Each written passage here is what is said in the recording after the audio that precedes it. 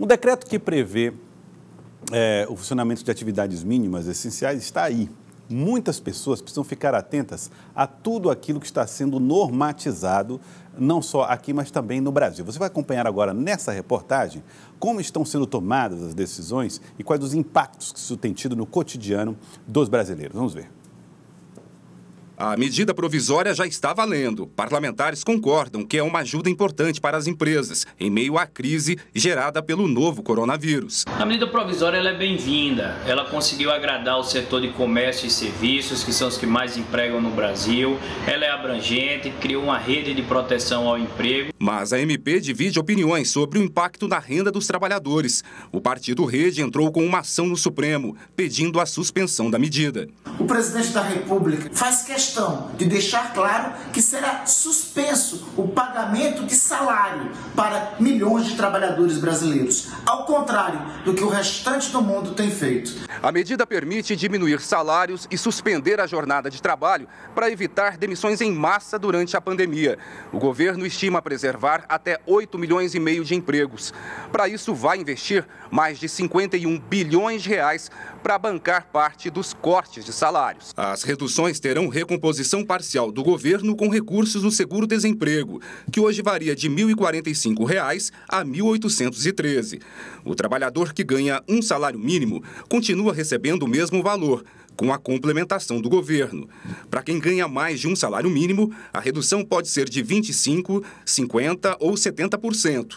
A renda será complementada pelo mesmo percentual calculado sobre o seguro-desemprego, ao qual o trabalhador tem direito. Veja o exemplo de um funcionário com salário bruto de R$ 2.000 com redução de 50% do salário. A empresa vai pagar R$ 1.000 e o governo metade do valor do seguro-desemprego. Nesse caso, 800 reais.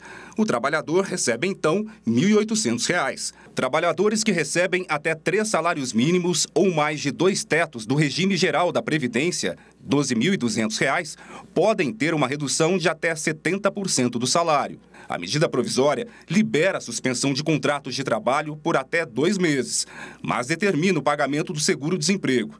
O benefício será pago totalmente pelo governo, no caso das empresas enquadradas no Simples. Já a empresa que fatura mais de 4 milhões e 800 mil reais por ano terá de pagar 30% do salário e o governo entra com 70% do seguro-desemprego.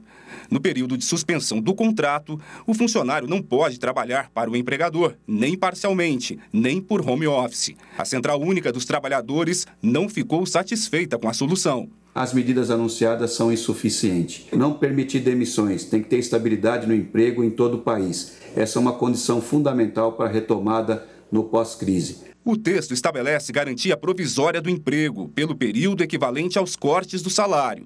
Com a redução de dois meses, fica preservada a estabilidade por mais dois meses, após o retorno do funcionário. Para a Confederação Nacional da Indústria, a medida traz um pouco de alívio para o setor. A medida provisória é positiva, de vez que ela abre espaço para que as empresas possam efetuar de forma mais ágil e simplificada ajustes necessários à preservação dos empregos e à sustentabilidade de seus negócios. Para este professor de Direito do Trabalho, a medida provisória não respeita a Constituição, porque permite um acordo individual com trabalhadores de faixas salariais menores.